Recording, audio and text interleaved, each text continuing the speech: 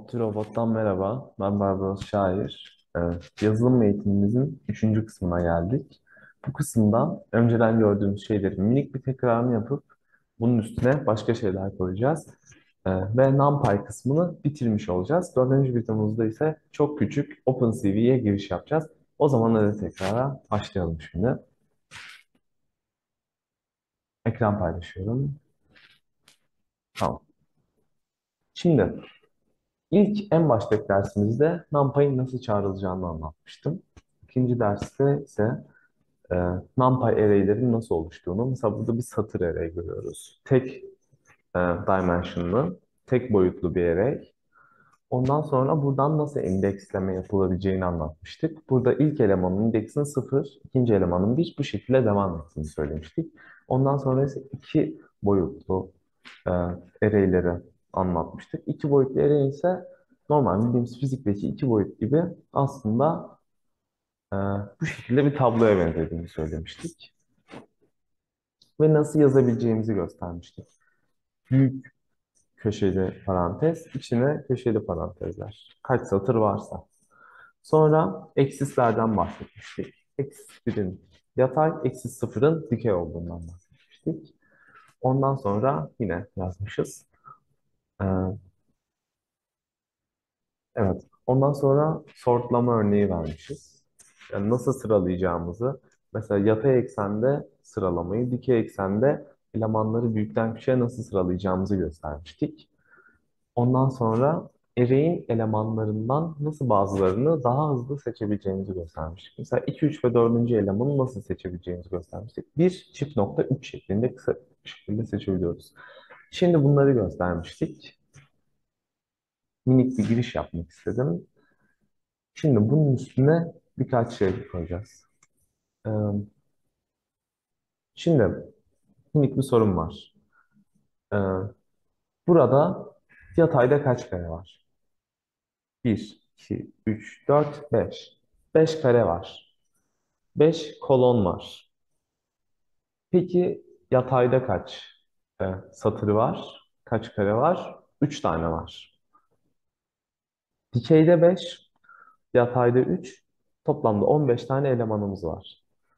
Peki biz bunu e, NumPy array olarak 5 tane kolona sahip, 3 tane de satıra sahip bir array'i nasıl tanımlarız? Şimdi tanımlayalım. Sonra bunun üstünden bir şeyler göstereceğim.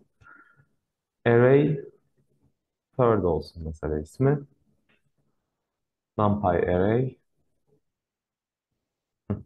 1, 2, 3, 4, 5. İkinci satıra geçtim. 6, 7, 8, 9, 10. Şimdi üçüncü satıra geçtim. 11, 12, 13, 14, 15. Tamam. Şimdi bunu yazdıracağım. Bakalım benzemiş mi? Gördüğünüz gibi buradaki tabloya çok benziyor. 5 tane kolon, her satırda 5 değer var ve 3 tane satır var. Her satırda 5 değer var. Peki bunun şekli nedir? Bunu matematiksel olarak şeklini nasıl söyleyebiliriz? Ee, eğer matrisler üzerine bir ders aldıysanız, lineer cebir üstüne bir ders aldıysanız bunun sonucunu zaten biliyorsunuzdur. Ee, bilmeyenleri şu şekilde açıklayabilirim. Şimdi bunun fark ettiysen şekli nedir diye sordum. Yani shape İngilizce'de. Bunun shape'i neymiş? Bakalım. 3,5. Demek biz matrislerin şeklini karşımızdakine veya makineye, makine dilinde nasıl anlatıyormuşuz? Öncelikle kaç satır var, sonra kaç kolon var. Şununla sakın karıştırmayın. Eksis 1 numpy'da yatay demiştik. Eksis 0 y ekseni demiştik. Ama bu şununla karışmasın. Ee, şey yani şeklini sorduğumuz zaman önce satırı yazıyoruz. 3 satır var. Sonra kolonu yazıyoruz. 5 tane de kolon var. Şimdi peki eğer biz sonuçta yine 15 eleman olacak. 3 satır 5 kolon değil de 5 satır 3 kolon yapmak istiyorum. Bunu nasıl yaparım? Buna yine ihtiyacımız olacak bilgisayarlı görüde. Nasıl olacak? Şu şekilde, e, pardon yanlış yazdım. Ee, bunu e, direkt printten göstereyim bence. Array third. Şimdi buna, bunun shape'ini öğrenirken array third nokta shape dedik öğrenmek için. Bu objenin shape attribute'unu öğrenmek için bu şekilde bir işlem gerçekleştirdim. Bunun, bunun üstünde şimdi reshape fonksiyonunu çalıştıracağım ki şekillendirebileyim, yeniden şekillendirebileyim. Ama tabii ki boyutların tutması gerekiyor. Yani yine 15 elemanlı bir şey oluşturmam gerekiyor. Ben şimdi 5 üçlük bir şey istiyorum. 5 üçlük gördüğünüz gibi 5 satır 3 kolon demiştik. Aynısını oluşturmuş. Boyutlar uyuyorsa aynısını oluşturuyor. Şimdi bu arada şunu da göstereyim.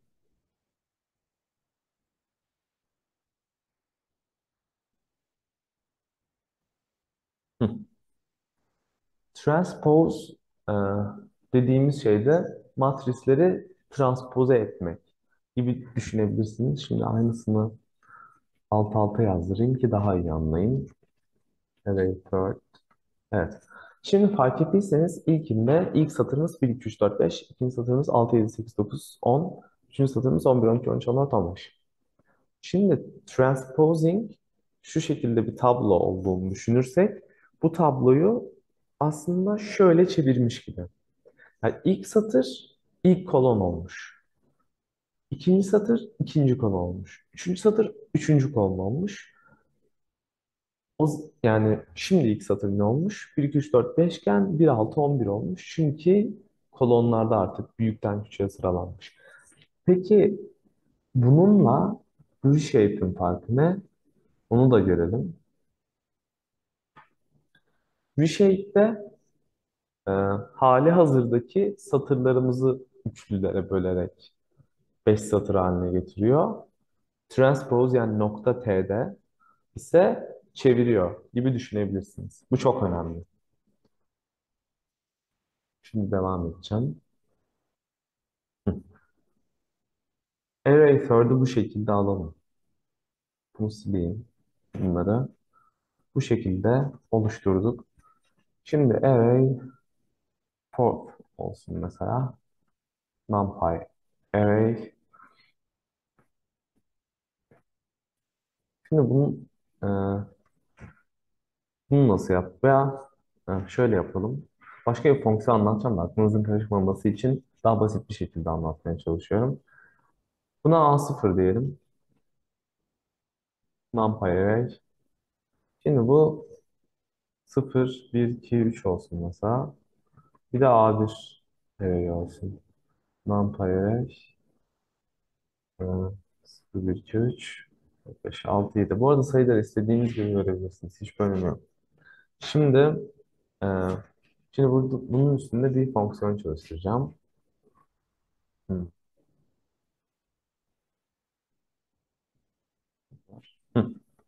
Şimdi bu şu an devam ediyor sanırım.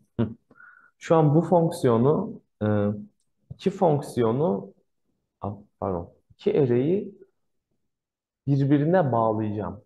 İki array'i birleştireceğim ve bu iki array tek array olacaklar. 0, 1, 2, 3, 4, 5, 6, 7 gibi düşünebilirsiniz. Bunu hangi fonksiyonla yapacağım? Şimdi onu göstereceğim. Burada minik diz düşmeleri yaşıyorum. Ee, demin fonksiyon demiştim. İki fonksiyon bir araya getireceğim demiştim. Onları array gibi kabul edin. Ağzımdan yanlış çıktı.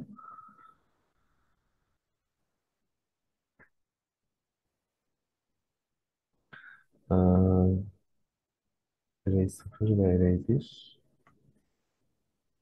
Şimdi de bunu. Hı. Ee, şu an bu gördüğünüz fonksiyonla burada da ne işe yaradığı yazıyor. Ee, ilk array'imizle ikinci array'imizi aslında birleştirmiş olduk gibi düşünebilirsiniz. Birbiri ardına ekleyerek tek bir array oluşturduk ve dimension yani boyut aynı kaldı. Bu çok önemli. Çünkü burada gösterdiğim fonksiyon ileride eğer uğraşırsanız yapay zeka da bazı modellerin, bazı mimarilerin vazgeçilmezi olacak ve bunu kullanarak bu sonuç elde edecekler. Bunu unutmayın, birbiri üstüne eklemeyi. Bu önemli bir fonksiyon. Ee, Birbiri üzerine eklemeyi de öğrendiğinize göre şimdi bunu geçeceğim. Ee. Peki, e, tekrar diyelim. Direkt aynı array haline getirip tek boyutta aynı array, yani tek bir array oluşturmak yerine başka ne şekilde düzenleyebiliriz bunları? NumPy stack. İsimlere takılmayın. İngilizce, İngilizcesini biliyorsanız zaten ne anlama geldiğini anlarsınız. Şimdi,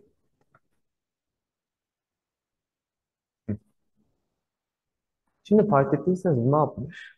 Bir array'imiz vardı, iki array'imiz vardı.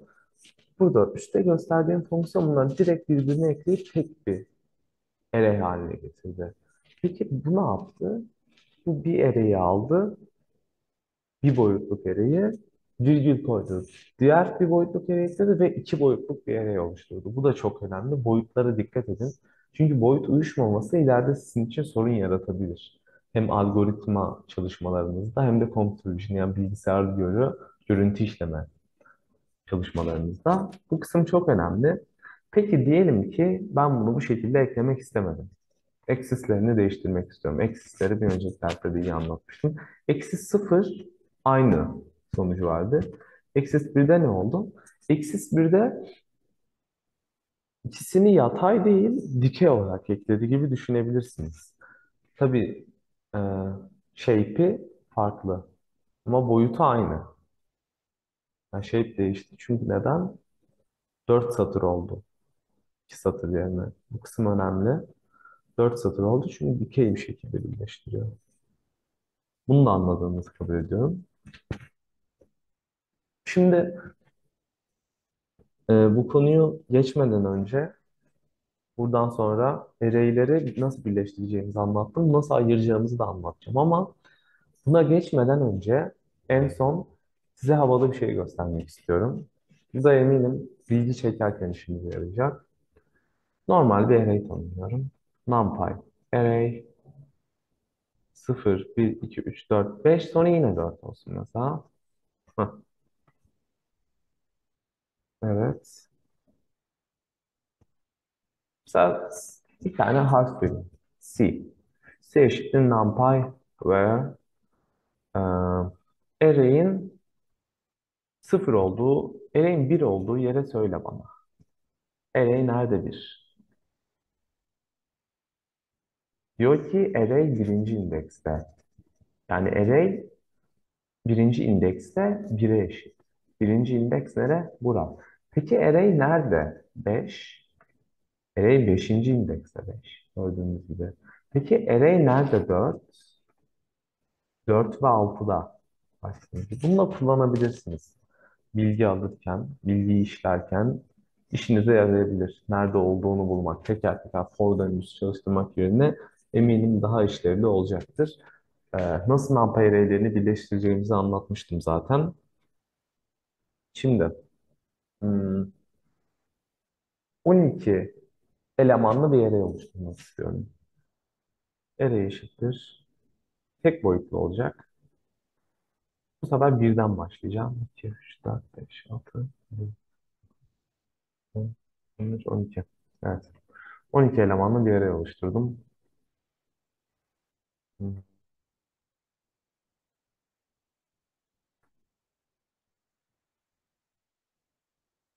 Ah, iki tane video var. Tamam. Print array diyelim. Bir önce array'imiz yazdırılsın.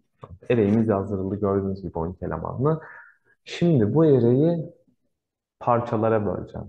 Farklı array'lere böleceğim. Bunun bir şu fonksiyonla birleştirilmiş şurada gösterdiğim fonksiyon birleştirilmiş olduğunu varsayalım. Şimdi bunu ayıracağım. 12 ama 12'ye bölünen bir şeye ayırmam gerekiyor tabii ki. Şimdi Diyelim ki new array eşittir numpy array split array. Şimdi önce bu array'i bir ikiye ayıralım. Print new array.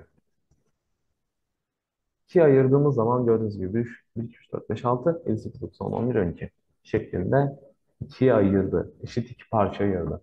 Üç parça ayıralım. 1, 2, 3, 4, 5, 6, 7, 8, 9, 10, 11, 12. Yine düzgün şekilde ayırdı. Dört parça ayıralım. 1, 2, 3, 4, 5, 6. Gördüğünüz gibi. Peki şimdi altı parçaya da ayıralım. Bir her olasılığı görelim. Tüm bölenlerini ayıracağım. 12'de de gördüğünüz gibi. Peki mesela 5'e bölünmüyor bu. 5'e ayırırsak ne olur? Gördüğünüz gibi bazı elemanlar eşit ayrılmıyor. Bunu kendi bu şekilde çözüyor gibi düşünebiliriz. Peki mesela bunu ikiye ayırsam numarayı 1, numarayı 2, numarayı 2 dediğimizde acaba bu sonuçları ayrı ayrı olarak mı verecek? Evet. Yani kaç array ayırıyorsak şurada output'a o kadar değer vererek bunları ayrı ayrı verileri alabiliriz. Yani 2'ye ayırdık. 1, 2, 3, 4, 5, 6'yı new array 1'e atadım. 7, 8, 9, 10, 11, 12 new array 2'ye atadım. Bu şekilde de işlemler yapmak mümkün. NumPy konusunda anlatmam, en çok anlatmam gereken, en önemli olan kısımları anlattım.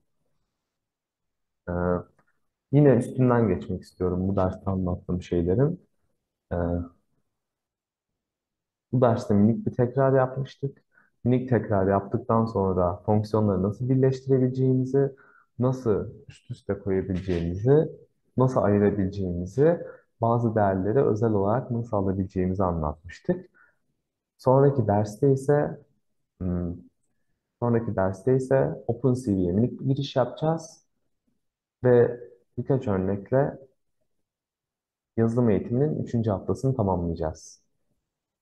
Eğitim bu kadardı.